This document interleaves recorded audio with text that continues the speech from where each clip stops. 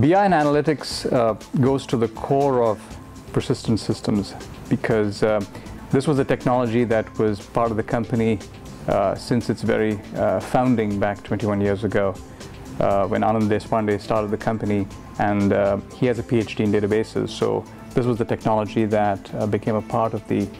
the core strength of the company. And over the last 21 years the company has spent time and invested in all aspects of BI and analytics. And uh, what I mean by BI and analytics is, is essentially working across the entire structured data stack,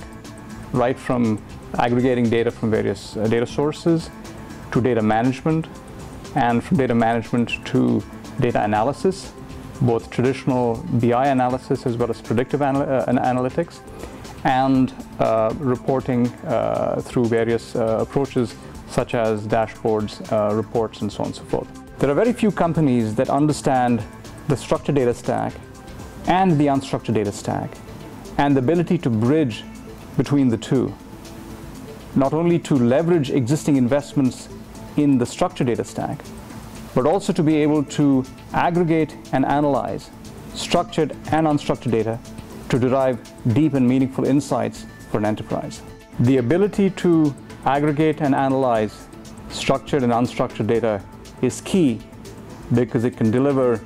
deep and meaningful insights for an enterprise.